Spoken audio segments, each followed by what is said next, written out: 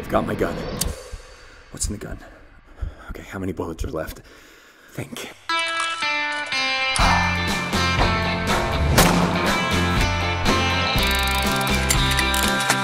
that the idiot test?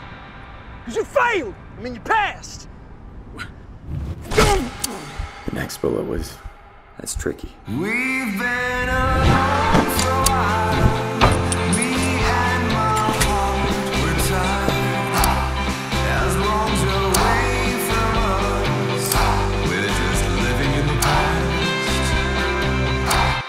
Who took the last three Desert Eagles? I'm not gonna tell you that. Need to buy some more time. As long as you're away from us, I'm captive in my heart. And there's a good chance we won't survive.